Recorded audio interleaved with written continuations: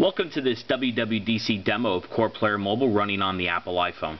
For this demo, it's running on a jailbroken iPhone, however, CorePlayer is already up to the latest Beta 6 SDK, and hopefully tomorrow we will get the latest and greatest 2.0 uh, and get that out and available on the App Store. So um, with that, let's start up uh, CorePlayer. Now for this demo, I'm not going to do a lot of the things that I had shown in the last demo, but really just concentrate on one thing, or actually technically two things. Let's just show you uh, the playlist function. Uh, again, more intuitive, very easy, up, down. You get to save your, your playlist. You can open a playlist, remove a playlist, add songs to it uh, music, audio, etc. Whatever whatever the mixed content you want, uh, it's going to be able to be within uh, within that playlist.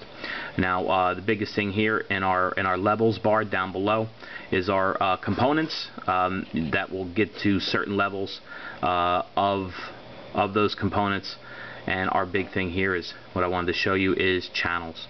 Uh, in channels uh, has a lot of the RSS feeds that are out there and we just aggregate the content into the player.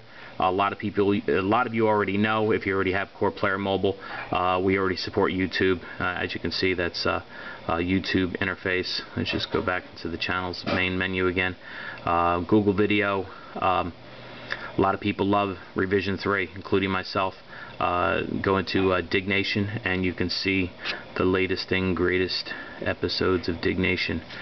Um, so that's that's really our big thing and big item right now. Uh, the channels is being uh, integrated into the latest version of CorePlayer, the entire platform in 1.3, and that will be available hopefully uh, sometime uh, the end of July. I think is right around our, our goal.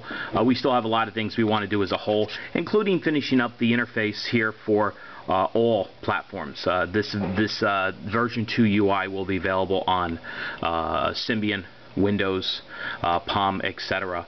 Uh, starting with version 1.3. So that's it for this demonstration.